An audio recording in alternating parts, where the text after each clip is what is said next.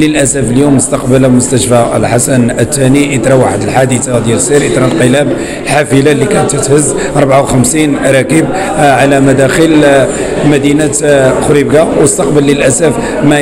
ما آه، تقريبا 34 جريح بما فيهم 26 جريح آه، حالة خطيرة. تم تحويل منهم واحد سبعه إلى المستشفى الجامعي بن رشد بمدينة الدار البيضاء لأن الحالة ديالهم تت- تتطلب المستوى الثالث اللي تيتواجد غير بالمستشفى الجامعي. وللأسف تم استقبال حتى بعض الوفيات اللي اللي وصل العدد ديالهم 20 وفاة. تنساوش تشتركوا معنا في جميع صفحاتنا على مواقع التواصل الاجتماعي وتفعلوا زر الجرس باش توصلوا بالجديد ديالنا على رأس كل لحظة.